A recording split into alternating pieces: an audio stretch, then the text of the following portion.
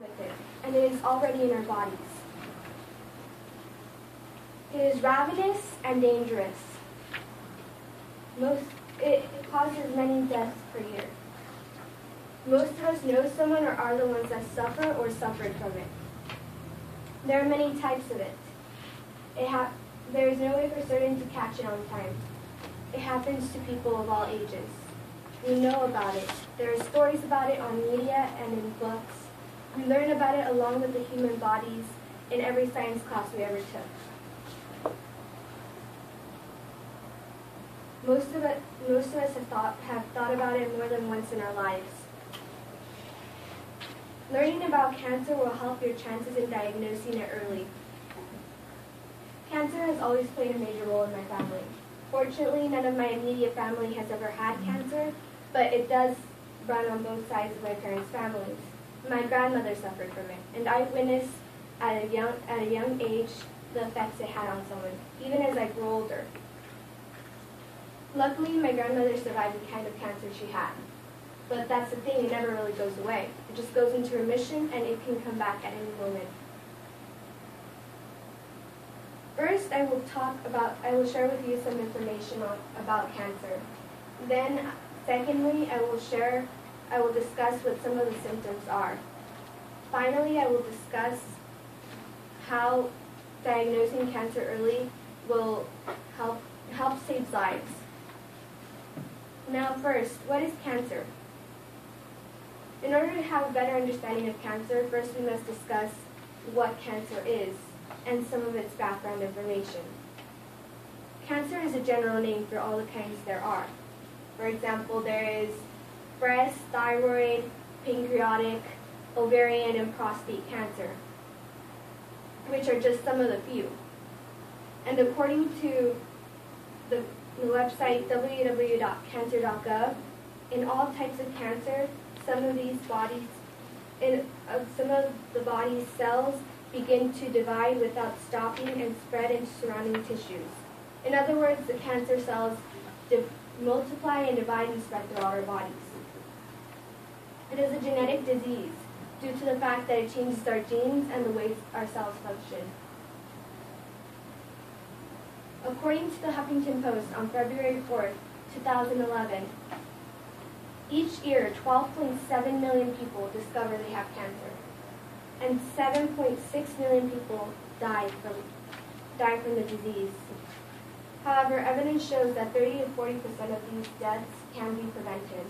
And according to Bernard Stewart and Christopher Wild, who wrote the book The World Cancer Report of 2014, estimates, estimates for 2012 show that there were 8.7 million people alive who have had a cancer diagnosed in the previous year. Once we have cancer, it never goes away. It just goes into remission. Even to get it to go into remission may take years and less if you're lucky. Some of the treatments for cancer are chemotherapy, radiation, and surgeries. Even then, it is not guaranteed. Now that I have discussed what cancer is and some of its background information, now let's move on to what some of the symptoms are. In order to fully understand cancer, first we must know what the symptoms are and what a symptom is and what to do if you have any of these symptoms. A symptom is a mental is mental and physical attributes that cause a disease. Some of the, the symptoms for cancer vary with the different type of cancer you have, but there are some common symptoms. For example, fatigue, unexplained weight loss or gain, fever, change in appetite, nausea, vomiting, and changes in skin color. There is one way to know for sure if you have these symptoms if you have cancer, and that is to go to a doctor on a regular basis, especially if cancer runs in your family like it does mine. Now that I have discussed symptoms and what to do if you have these symptoms, now I will dis now I will discuss how how being how being diagnosed with cancer helps save lives.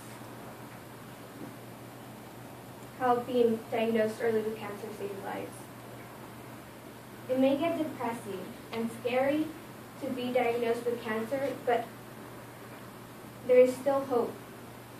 Being diagnosed with cancer early can help increase the chance of survival and lowering the risk of death. Go to the doctors regular, on a regular basis because most of my family that died did not go to the doctor until it was too late. Do not let fear or pride get in the way of going to the doctor. They are there to help you. My grandmother was one of the few to survive the cancer she had, but she wasn't as lucky as most of you might think.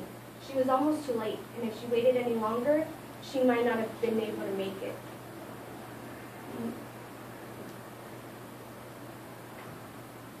Now that you know what cancer is, its symptoms, and how being diagnosed with it early on helps save lives, I will bring things to a close. The importance of knowing what knowing about cancer will help your chances in diagnosing it early. First, I talked about cancer and its background, and second, I talked about the symptoms and what, and lastly, and what the and what to do if you have the symptoms. Lastly, I talked about the importance of getting it diagnosed early. Being diagnosed with cancer is not the end of the world. There is still hope, and you have to have faith and a strong will to, you know, the strong will in order to survive. And the doctors are there to help you. They may be the, the, the very thing that saves your life.